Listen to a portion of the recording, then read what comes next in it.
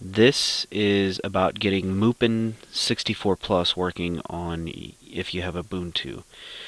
Um, if you're a gamer and you want to play some retro games, uh, Nintendo 64 emulators are available.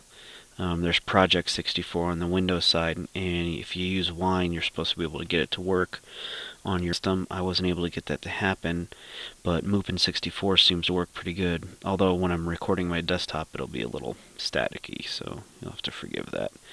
So obviously, first, if you don't know anything about Linux, um, going to the help pages, you'll just see a bunch of shit like sudo apt-get install all these package things and then command lines and terminal and it, it looks like a bunch of fucking Latin.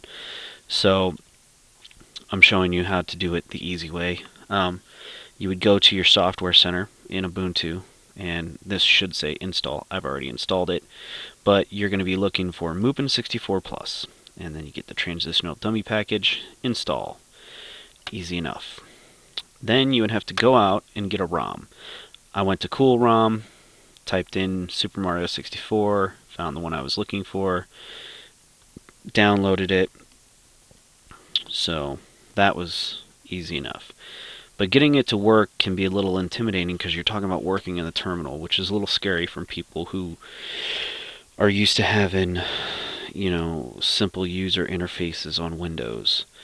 Um, to get Mupen working, once you've installed it and you've got your game, you have to you just open up Terminal, which is Control Alt T, and then Mupen 64 plus. All right, that's telling you what program you want to open.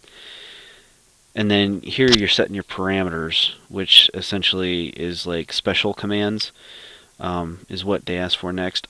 I just want to make it full screen. So I just type full screen.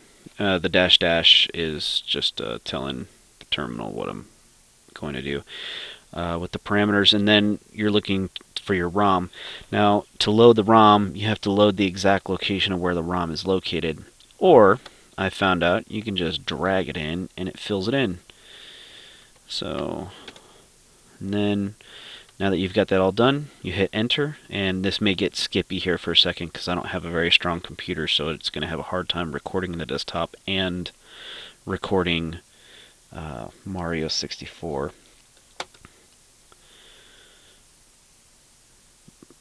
And there it is. And it's full screen on my screen right now. Um, but because of the way I have it recording, it may have just made your screen black and then put the image up in the top left. I'll have to see what that looks like in the playback. But on my screen, as it is right now, it's full screen. And I have an Xbox, original Xbox controller that um, is plugged in via, they make a USB jumper that you can on eBay.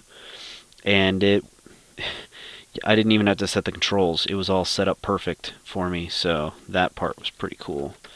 Um, so that's all you got to do.